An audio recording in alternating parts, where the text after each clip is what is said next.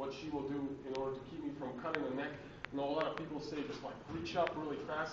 I, I don't know who thinks of these things. If, I saw her reaching for the knife, I would just cut her throat right away.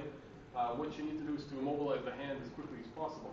So she will instead raise her arm and thus pinching my uh, hand to the um, to the shoulder.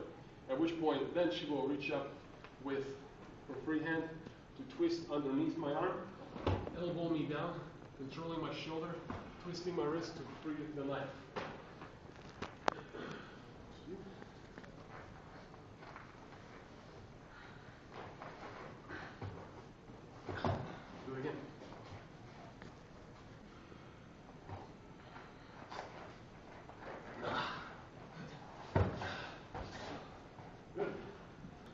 There's variation of ways that they could be doing this to you. Could be two-handed like we did uh, in the other video. Uh, could be just one-handed in the, in the right hand. Could be in the left hand. Uh, they could be faking around, putting a flashlight to the back of her head, but have the gun concealed here. We will address all of these. First one, go.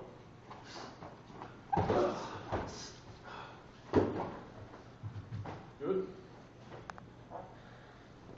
Next, she does not know which ones, uh, which way the gun is. She merely uses the same maneuver and adjusts it accordingly by the flow of the movement.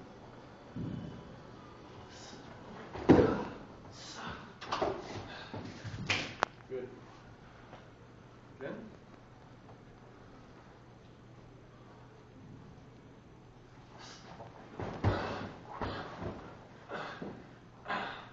And from here, she has me pinned and can begin ground combatives to relinquish the gun from my hand. So I have, uh, this next one is, I have a hostage, so pulling her back. What she wants to do is to react with the hand that I cannot see from my perspective. So if I'm left-handed, she'll just use that hand, and she will pop up, putting the gun away from her head. I can shoot all I want here, it's not hurting her.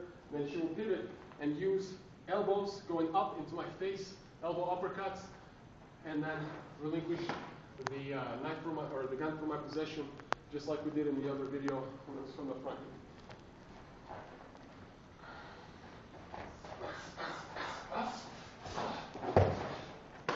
She has it.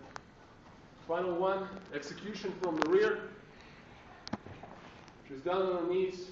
Maybe there's a camcorder there. I'm monologuing.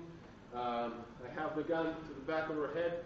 She doesn't know how many other people are in the room. Maybe she was led in blindfolded, uh, bag on her head. But now the bag is off. The face uh, can be seen on the camcorder. She's blinded, but she can feel the gun on the back of her head. Uh, she will want to uh, get the gun away from me and back away as quickly as possible to fight any other possible assailants.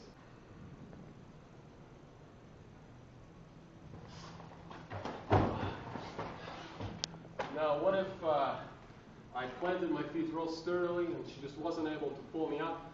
She can still turn around, try to tug, kind of pull me off balance a little bit. She still has control of the gun.